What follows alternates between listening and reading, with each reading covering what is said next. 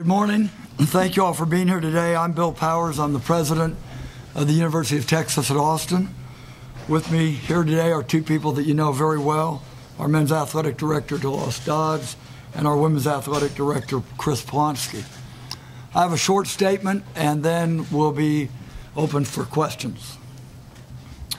I'm pleased to announce today that the University of Texas at Austin is reaffirming its commitment to the Big 12 Conference this is a long term and unequivocal commitment.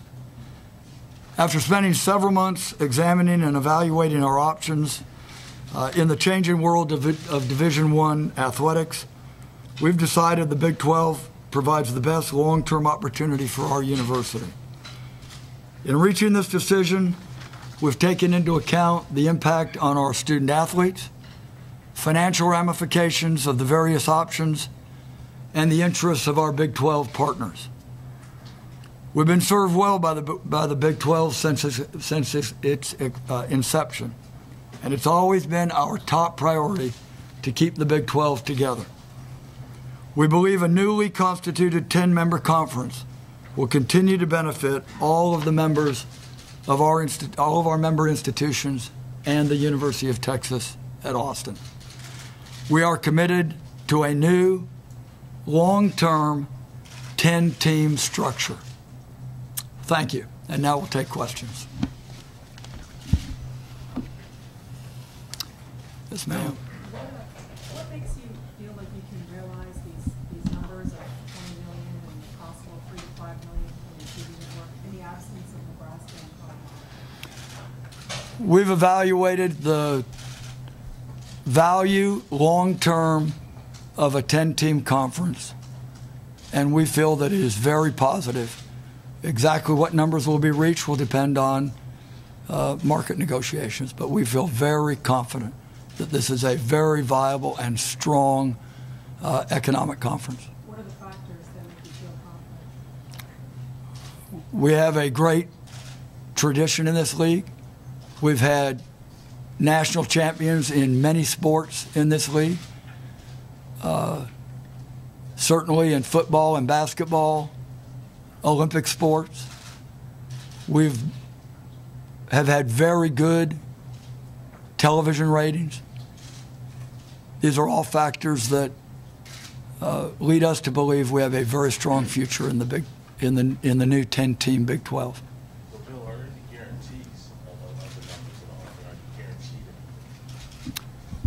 guaranteed? We're not guaranteed. Uh, these are these will be part of negotiations.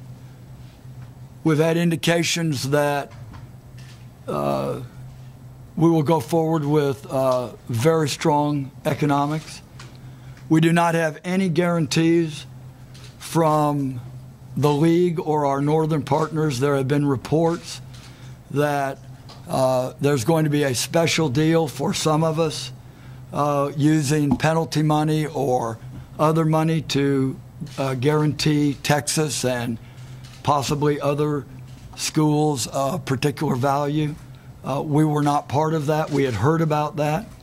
Uh, we're not part of it. That was not part of our consideration, and we oppose uh, that kind of deal. We will be distributing money in the Big 12 according to the normal Big 12 distribution. So that being said, then how does this make more sense than maybe the, the the Pac-10? Well, we spent a great deal of time with the Pac 10. Anytime there's a, uh, in any business or enterprise relationship, you compare uh, the terms and value in each of the options and possibilities. I am not in a position to comment on the Pac 10's uh, offer or discussions. There's a lot of proprietary information in those, and we're going to honor the confidentiality of the Pac 10. Let me say the Pac 10 representatives and their institutions, it is a great league. They uh, were extremely professional in all of our discussions.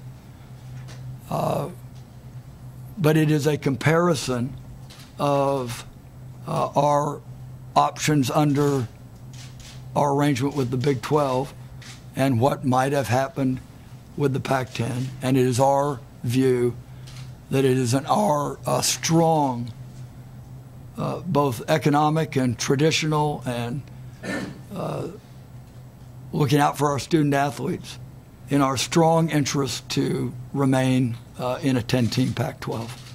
Bill,